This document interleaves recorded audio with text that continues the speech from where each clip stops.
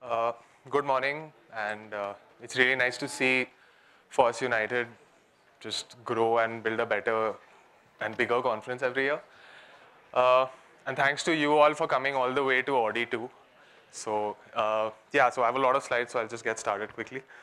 Uh, I'm Rishabh. I work. I've been working at Discourse for about five years, and this. So I'm I'm here to talk to you today about what's been happening at Discourse for the last year or two, but also, but but it's not just like a list of features. It's also with some takeaways for people who are new to Discourse, but also people who are running Discourse instances today. So in the interest of anyone who doesn't know what Discourse is in the audience, we started in 2013. It was built in Ruby on Rails and Ember.js. The, in the community platform area, some of the differentiators are that you know Discourse is open source. It always has been, and it will always be open source. Even if you host with us, host your community with us, or self-host it, it will. You can always you always own your data, so the data is truly portable and and it's weird to say it out loud, but yeah, unlimited conversation history is a weird thing in like chat apps, so I still have to like bring it up. So, and while there are tens of thousands of discourses out there, we, our business model is to support services around it if you want. So we have 3,000 plus hosted customers on our infrastructure. Um, we are a team of 96 people across 23 different countries and 15 different time zones. And we use Discourse to coordinate asynchronously and build this company. And that's been the question, that's been the, the state for since the first day. And this full group of people just aims to make the internet a better place for discussion. And even at IndiaFOSS, off the top of my head, I can think of some discourses. The Frappe forums have always been on discourse before I even started working here, which is very cool. The Internet Freedom Foundation forums, the Zerodha Q&A forum. So there's a lot. And now thinking about it, I forgot to add the FOSS United forums. So they also use Discourse. So while we've been around for so long, we, I'm here to iterate that Discourse is still a very dynamic application and it's currently moving faster. I think it's moving faster than ever in terms of things we've added in the last year or two. And why is that? So we we changed our release cadence. So in the past, it would be that we would have a release after four months, after 13 months, and it was a bit random. But now we're, we're trying this new cycle where we have six months, releases every six months. So in Jan 2023, we had Discourse 3.0. In, 20, in August, we had 3.1. And in, I can't think of any reason why there wouldn't be a 3.2 in January 24. So this is helping us focus what to prioritize each release, but also make things predictable for people using Discourse and upgrading every time we ask them to. Uh, so jumping into some of the problems we tried to solve in the last year or two. So Discourse has some strengths, right? That for asynchronous discussions, you have a record of everything that happened, any decision. You can go back and say that, okay, five years ago, why was this decision made? And as Ria said in the opening note, you know, the active archive, I liked that sound. So, but then for some, in some places there are weaknesses. It's not, it wasn't a complete community platform because you didn't have space for casual conversation that brings people together, and that's why we have chat apps. So for years we recommended that you, you have a discourse and you have a chat app and you integrate them so you have the best of both worlds. So, but then it, it, it has challenges like you have to educate people. Okay, if, if it's in chat, you put it there, and if it's something more important and longer you put it in discourse. So uh, over the last two years, we started iterating with some exp experiments, and we realized that did this solution need to be external at all? Like, why do we have to integrate? So we, uh, last year, we launched something called Discourse Chat, and so if you look at the sidebar on the left, you have access to things like categories and tags and messages that we're used to in Discourse. But you also have channels and personal chat. So Discourse chat is a part of Discourse core and it's a very good chat experience with threads and everything you would expect in a chat setting. But this has started to work really well because it gives the community cohesiveness that you don't have to go to three different URLs to uh, just talk to their members. So it brings everything under one roof. And yeah, we had this slogan like chat inside discourse, discourse inside chat. So we still want to focus on the parts that discourse does well. So there are a lot of features that focus on this flow. So if you start a conversation in chat and you select, and then you realize, oh wait, this needs to be in a topic because we're starting a project out of it. You can select those messages and then just quote it in a new topic and done. So over the next year, we are also focusing on this connection between sync and async and how what that means for a community. So we brought it in one place, and now we're bringing both communication styles and checking, like improving how they flow with each other.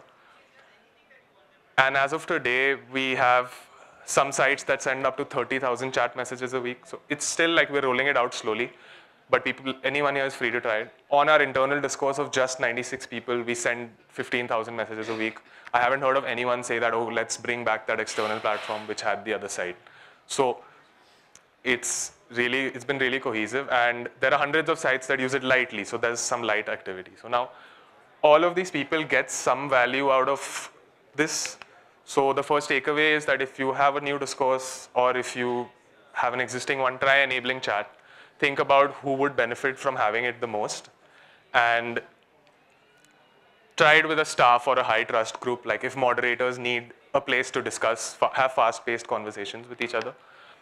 Uh, the second problem area is just about accessing what we care about most. So we added this sidebar to discourse, and I think most, most people who use discourses here, I, I check the sites and they have sidebar enabled. So I just wanted to point out two features where you have custom user sections in your sidebar now. So as a product manager of the internal tooling team, I need access to this stuff every day. So I placed that here and by clicking the pencil, you can change that. But by clicking the plus icon, that's my next takeaway. You can add a custom section for everyone on your site so, you know, what do you want people on your site to see every day? Like, it could be a link to a filtered list of pull requests that you guys need to look at often. It could be your quarterly objectives. You know, it's front and center for everyone. So what do members need access to? And let's just add a global section. The third thing is we built an we built an experimental discourse AI plugin, and I say experimental because it's completely separate from Discourse core. And it's a plugin that you install. And then in that plugin, there are seven, seven different modules that do seven different things at the moment. But even inside those modules, you can choose what provider you would like to use. So you don't have to enable the whole thing as a bundle. You can just pick one thing if you try. So you can try open source models. You can. So yeah, so this is an initial list. And what the focus right now is just to the focus right now is just to you know, find places in the app where AI can make things better. So my favorite one is, so when you finish reading a discourse topic, at the bottom you have this related topic section. Now, if you install the plugin, uh, but this has really surprised me. I was pretty neutral on it in the past, but when you're reading a topic, it suggests you things that you should read depending on the content and the title. And it's not just basic keyword matching, it's, it's, it's a semantic textual search. So this, has, this is my favorite one that's working right now, but we have other things like we have this bot that can help support your users. If staff isn't around, you can ask it questions. It has seven different themes. So help with the forum, help you write SQL queries. So they've been exposed to different areas of data and you can try them depending on what you want to do. One thing different about discourse, using it in discourse would be that you can have a group conversation with them. Like you can have five or six people talking to the bot, so that's something different. And this is an experiment. We're seeing how it can add more and more value over time. Summaries, so if you have a topic with thousands of posts and you want a quick summary, you click that button and you have a summary in a couple of seconds. Mm, proofreading your text. So we're just, these are different areas of the app where we're, consider, where we're seeing if it adds value. So the third takeaway here is try a couple of these AI features. Related topics is easy to start with, but it's also possible to self-host if, if you want to try that.